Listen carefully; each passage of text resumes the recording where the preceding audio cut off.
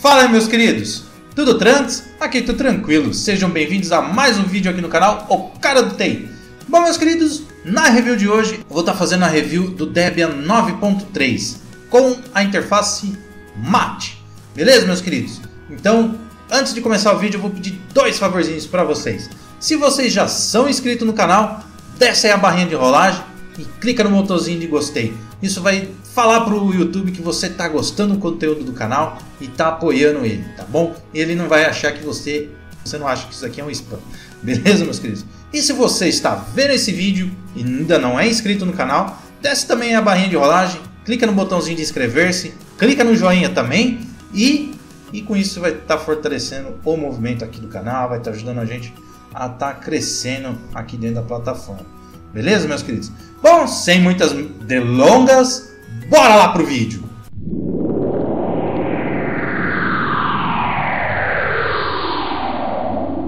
Bom, meus queridos, como eu falei anteriormente, essa aqui é a versão 9.3 do Debian. Ela saiu esses dias e eu vou estar utilizando a interface MAT ou MATE, sei lá, tanto faz aí, como que você queira. E é a versão de 64 bits. Estou usando um triple core aqui na minha máquina virtual com 2 GB de memória RAM, beleza? E vamos começar aqui. Essa aqui é a tela inicial do Mate, né? Essa interface que todo mundo gosta aí também, que ela é leve e dá para colocar em bastante sistemas. Eu, quando eu opto por utilizar o, o Debian, ou eu uso XFCE ou o Mate. Aqui eu preferi o Mate, que era um pouquinho mais leve, aqui na minha opinião, para utilizando aqui. E como eu não fiz nenhuma review ainda do Mate, né, de um sistema com a interface gráfica do Mate, vou estar utilizando aqui no Debian, beleza? Aqui a gente começa já entrando com o nosso usuário e senha. Geralmente nas outras distribuições a gente faz o que? A gente já tem o usuário ali pronto, e você só coloca a senha. Aqui no, no Debian, na hora que você está instalando ele, você, eh, você, tem a opção ali de colocar usuário root. Então, se você quiser entrar com o usuário root aqui no seu sistema, você também pode.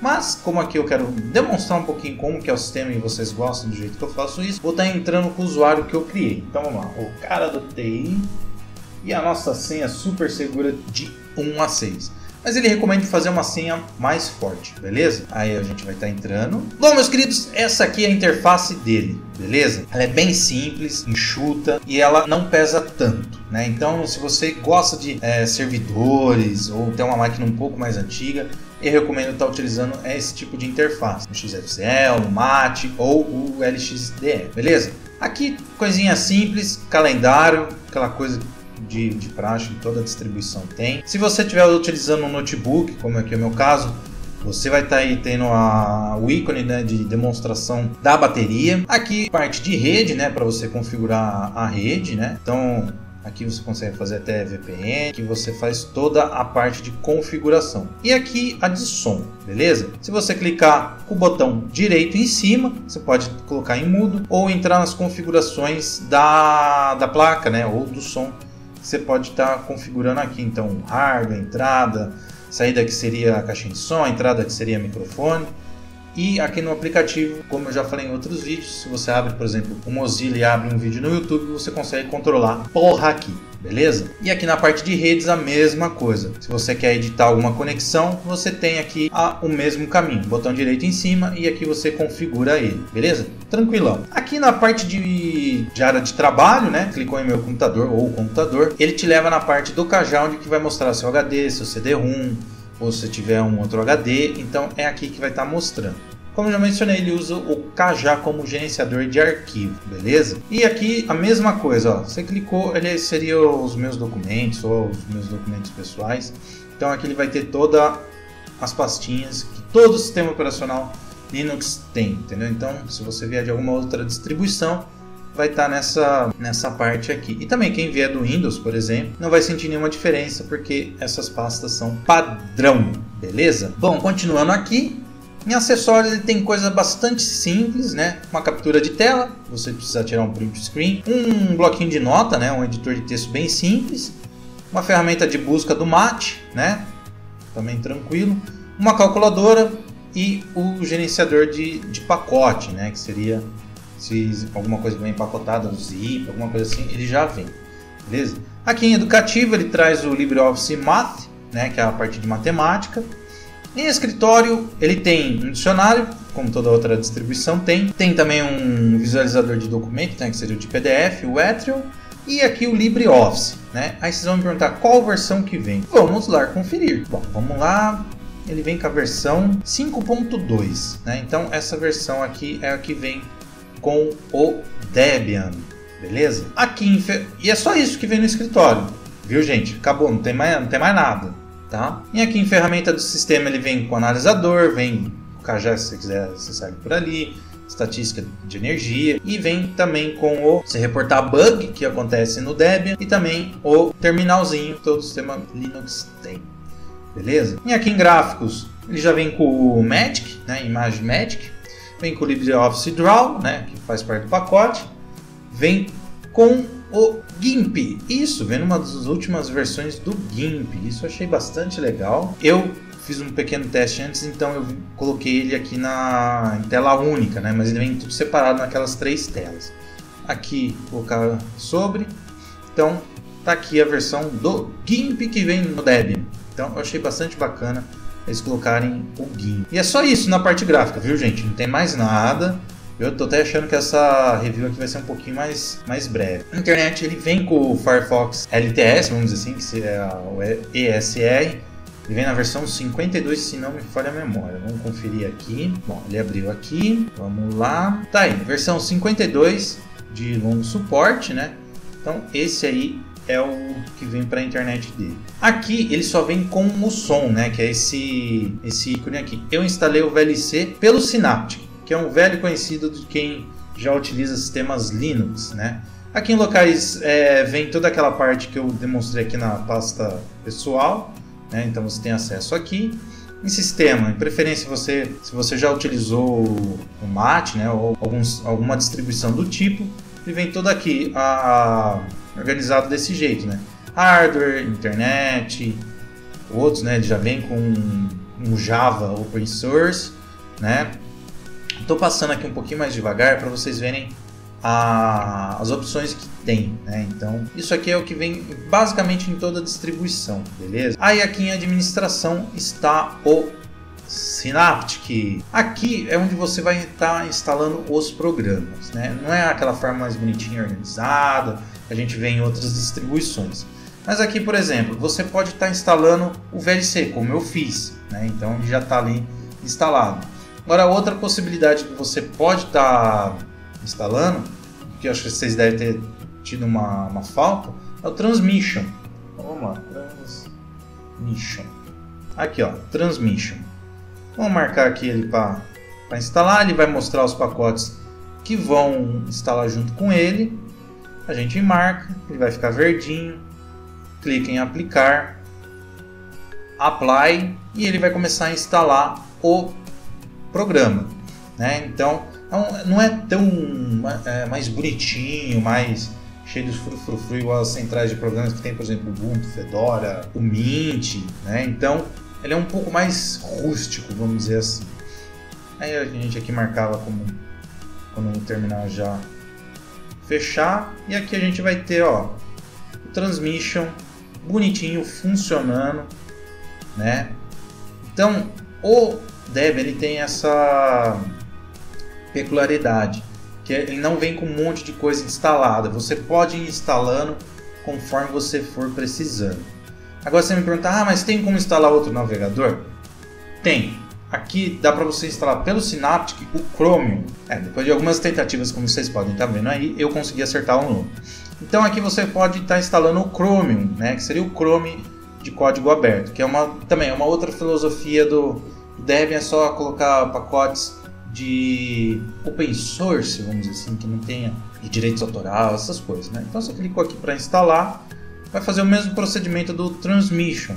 Ele vai instalar ele, aqui clica em Apply, vamos esperar a mágica. Agora ele vai estar tá baixando aqui, bonitinho. Se você quiser, você pode até ver qual que é o processo né? Bom, aqui ele terminou de baixar, agora está instalando, vai ser até um pouquinho mais rápido. Vamos lá, não me decepcione. Pronto, instalou, né? Então não tem muita dificuldade em estar tá instalando o programa. Quem perguntar da Steam que dá para instalar, dá porque eu vi na Wiki. Então se vocês precisarem do link, estar tá deixando aqui embaixo na descrição do vídeo, tá? Vai estar tá o link da wiki do próprio Debian ensinando como instalar tanto em sistema operacional de 64 e 32 bits do Debian, beleza? Então vou abrir aqui a internet e vai estar tá o Chromium bonitinho para você estar tá utilizando, beleza? Aqui ó, Chromium tal. E é isso, pessoal. Não tem muita coisa que vem com ele. O que eu queria estar tá falando em relação a isso, que as, as pessoas vieram me perguntar se eu recomendaria ou não o Debian para as pessoas. Bom, meus queridos, é o seguinte: para iniciantes, eu ficaria com o pé atrás para estar tá recomendando, porque ah, tem algumas coisas né, que você não conseguiria estar tá fazendo com tanta facilidade assim. Aí vai dizer, mas como assim? Por exemplo, quando é Ubuntu, Mint ou qualquer distribuição que venha desse nicho, é mais fácil porque tem bastante material é, fácil na internet. Então, se você precisa instalar tal programa, tá lá o, o comando que você consegue instalar. Como eu falei no vídeo, que eu vou deixar aqui em cima, o problema que eu tive com a Dell, com o notebook, que eles mandam com NVIDIA, eu precisei instalar um, o drive da NVIDIA para notebook. Eu estou falando para notebook, tá? Como não um desktop, eu não vou falar como seria no desktop. Quem tiver desktop, pode comentar aqui embaixo como é que é. Mas para mim, no meu notebook, que é um dos mais novos, é, eu tive um certo problema para estar tá instalando, né? Porque tem aquela política de não ser tudo open source, né? Não vou entrar no mérito agora. Então eu tive um certo problema. Isso pode afastar o usuário iniciante, que está vindo, por exemplo, do Windows, vamos dizer assim. Eu recomendaria vir, a pessoa iniciante, iniciante usar o Debian? Ah, não, não recomendaria. Eu recomendaria o Debian para qual situação? Se você já está um pouquinho mais calejado no mundo Linux, se você é um entusiasta ou virou entusiasta, você quer mexer, eu recomendaria primeiro fazendo uma máquina virtual, mexendo e vendo como é que se sai. Ou se você tem uma maquininha aí mais antiga, beleza, vai lá, põe, é, põe ele, põe para rodar e tranquilo vai fazendo os testes. Beleza? Quem está vindo do Windows, né? Eu recomendaria o quê? Um Mint, um Ubuntu, né? Ou Fedora, OpenSUSE sei lá, tem N distribuições aí que seriam para os usuários finais. Na minha visão, o Debian para quê? Para quem, né? E para quê? Para quem já é mais avançado, né? já tem um certo controle no, no sistema, ou para servidores. Por quê? Com a estabilidade, eu já montei um servidor com Debian. A estabilidade dele é fenomenal. Ele, você não, se você conseguir quebrar ele é porque você é muito ninja ou se você colocou alguma coisa que não devia. Né? Então, para essa situação, né, que eu coloquei aqui agora, eu acho que o Debian se encaixa. Então, se você está começando agora, busque uma distribuição mais amigável, né? Que é você clicou, instalou e usou. Se você é um entusiasta e quer mexer, quer, quer fuçar no negócio, beleza, vai fundo, baixa a ISO, né? Tem uma, uma ISO que é o um mínimo e você vai instalando o que você quer foi assim que eu utilizei aqui um método e vai fundo, né? Ou se você já é craque no negócio, vai lá, coloca o Debian e como você sabe que você está fazendo, mete fogo, beleza? Então, a, a, a, review em si, eu já até estava sabendo, ela seria um pouco curta, porque o Debian em si, ele não tem muita coisa, né? É, que ele vem de fábrica, vamos dizer assim, e você vai instalando os pacotes que ele fornece na estabilidade que ele quer. Porque, pelo que eu vejo, a filosofia do Debian é entregar um sistema o mais estável possível pro cliente, vamos dizer assim. Né? Então, ele só vai soltar, por exemplo, uma atualização ou um, um pacote ou alguma coisa do gênero, ele só vai soltar na hora que tiver certeza que está nos trinques, que está do jeito que ele quer. Entendeu? Eu até gosto desse tipo de filosofia por exemplo, se você vai colocar num embarcado, né? Então, sei lá, num computador que é de empresa, um servidor, alguma coisa que exige muita é, estresse, é, né, de teste ou estresse de uso, eu, recome eu recomendaria estar tá usando o Debian, porque ele dá uma base muito sólida. Uma distribuição que está ficando muito famosa hoje em dia, que é o Deepin, ele utiliza o Debian como base. Né? Então, tem bastante gente.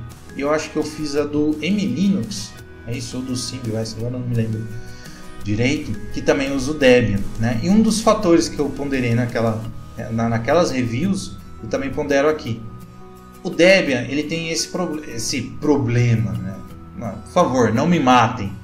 É esse essa coisa de você não de você ter ele muito travado assim, mas por um lado é bom. Bom, então é isso, meus queridos. Essa foi uma review bastante básica, né, como vocês podem ter visto, mas se vocês querem é, ver como é que é o Debian, como é que ele funciona, eu vou deixar o link aqui na descrição para vocês estarem baixando, beleza? Aí você baixa, vai instalando e vai vendo como que ele é.